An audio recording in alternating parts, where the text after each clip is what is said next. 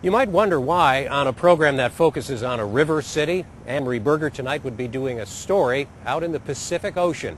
Well, partly because we had the opportunity to visit an aircraft carrier, but also because we know that when it comes to aviation, there's almost always a St. Louis angle. And for one of the guests who went along, there was also a family connection.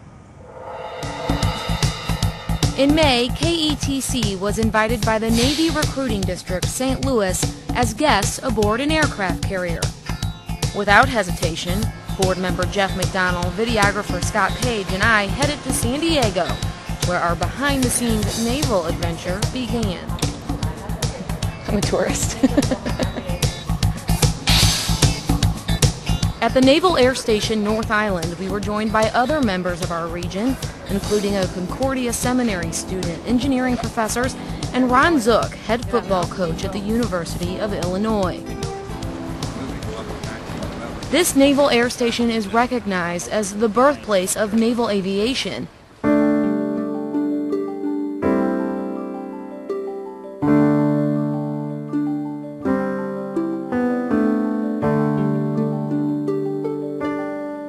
It was here that Charles Lindbergh's Spirit of St. Louis was built, and for decades this location has maintained repair facilities overhauling planes and engines of naval aircraft. Right in here, there's foam padding because what this would be inside the aircraft, this is actually a fuel cell. Today, F-18 Hornets and other aircraft are brought here to be repaired and rebuilt.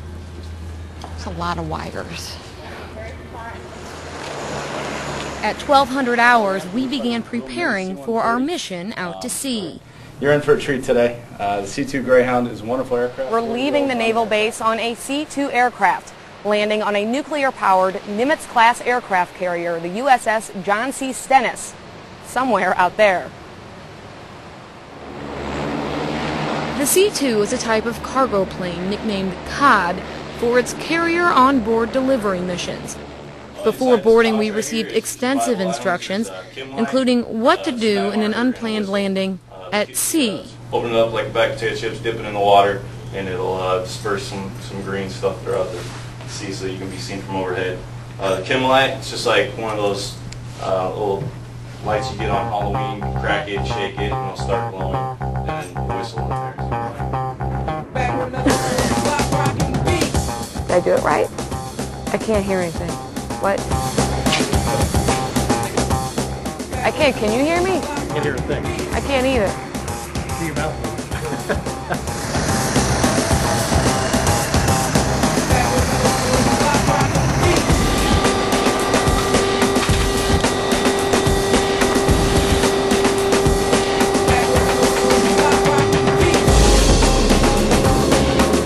The Stennis was located about 100 miles off the coast of San Diego, and the flight would take us about a half hour to get there. The seats face backwards on a C-2, making the landing more comfortable, because landing on an aircraft carrier isn't like landing at Lambert Field. You have to be caught by a rope. It's what the Navy calls a trap. And while I didn't fare too well on the flight, Jeff McDonnell did just fine, and maybe because aircraft are a family thing. His grandfather, James McDonnell, founded St. Louis-based McDonnell Aircraft, the company that defied experts who claimed jets couldn't be flown from aircraft carriers.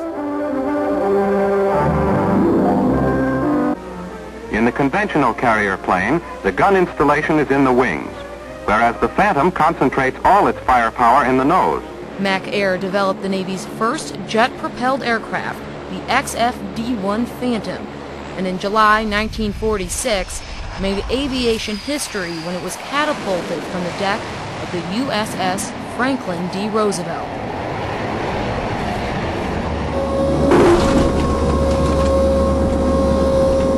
And when we landed aboard the Stennis, we all saw just how far naval aviation has flown.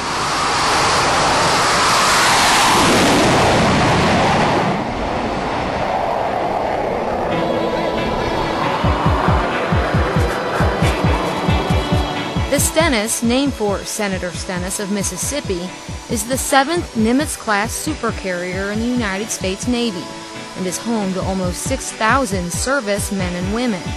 Its home port is Bremerton, Washington, and had been docked there since December. Now, the ship's crew and air wing are getting their sea legs back, so to speak.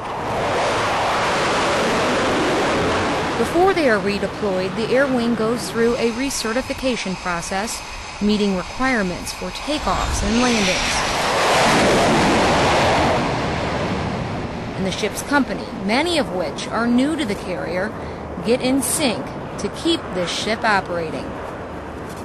For us, this is the, the first step in a very long series of steps to get us ready to go uh, next year. Right now, uh, we're doing carrier qualifications for Carrier Air Wing 9.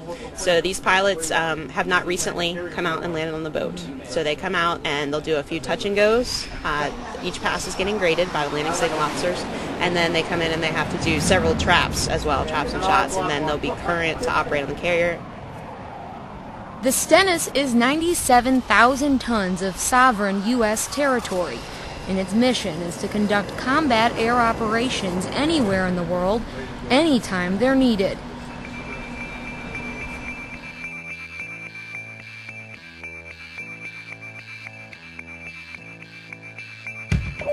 Operating this ship is a massive job. There are more than 16,000 meals served each day. There are 2,700 compartments on board. And if you piled the operating manuals in one stack, it would measure 555 feet.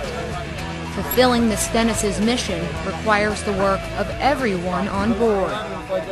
I'm a photo officer, and that's, that's a fairly small thing in the, in the grand scheme of what the ship does to protect freedom, but I rely on the people that are in the engineering spaces to keep me cool or to give me hot water so that I can get up and function every day. I have to rely on the culinary specialist, the third class of the seaman that's there making my food every single day so that I have a warm meal. I have to rely on the people that are cleaning the laundry to make things like that. And then you look at even a grander scale, you look at the pilots. What do the pilots need? They need the aircraft maintainers to make that airplane leave. They're just the operators or the driver for that. The person running the catapults, the person that makes the aircraft land, the people handling the ordnance from the top down, the, uh, the captain who's making sure that the ship is going through navigable waters, making sure that the bridge team understands it, it, it, never stops. It's a continuous string in that if one of those people, one of those cogs isn't working together, then it all falls apart. Well, because it could be a total logistical nightmare. Yes, it could.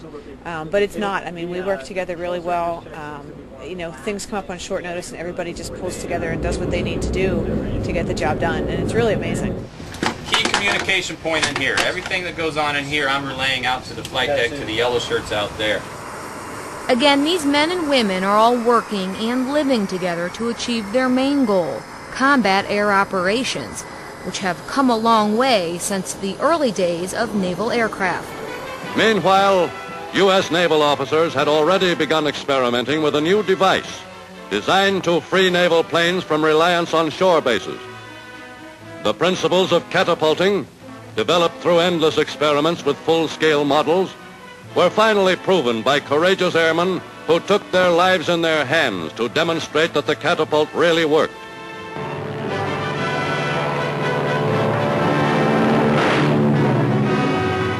The catapult furthered the idea that aircraft could successfully take off from and land on ships at sea. And by 1922, the U.S. Navy had a carrier, the USS Langley.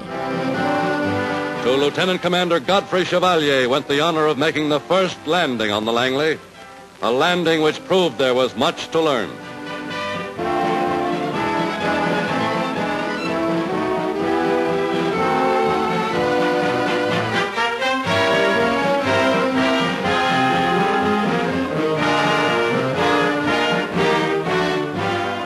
But to the pioneers, flying had become a religion. Despite the great personal risks involved, they were determined to perfect, by trial and error, a dependable technique.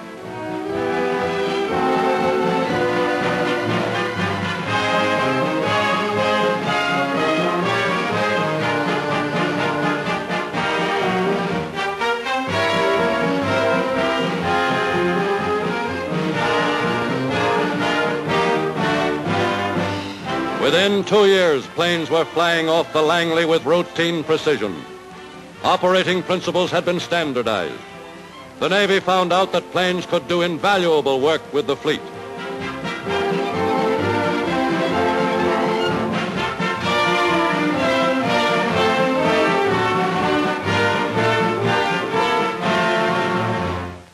By 1924, appropriations for naval aviation had grown and scientists and engineers began experimenting with aircraft design, engines, and weapons capability.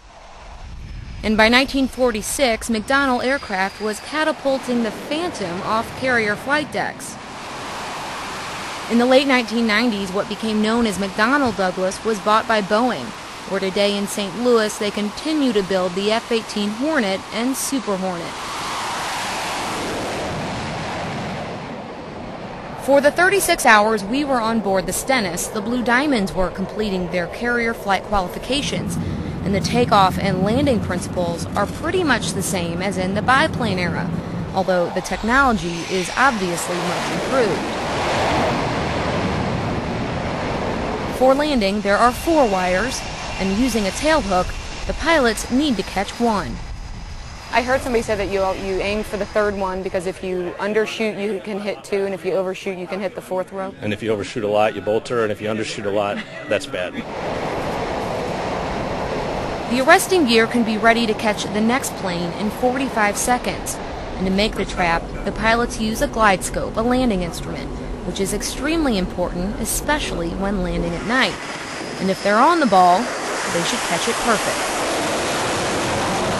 No kidding. If you land with that ball centered, Yeah. you are going to catch the three wire. Um, that's what they. That's what we target. So you're going to touch down uh, just prior to the three wire, and that's what your hook's going to catch. Now, if you're high, you could miss the three wire and catch the four. And if you miss the fourth, you get a free trip around the penalty box. And it's for that reason, missing all the wires, that these planes land at full speed, so they can take right back off again.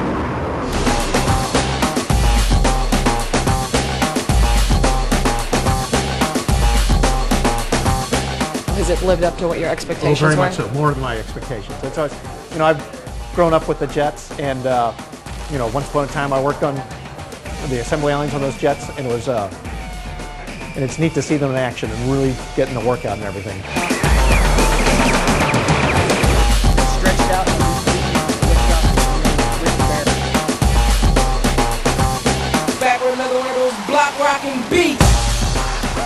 Left the Stennis the same way we arrived, on a C-2. However, this time, we were catapulted back to dry land.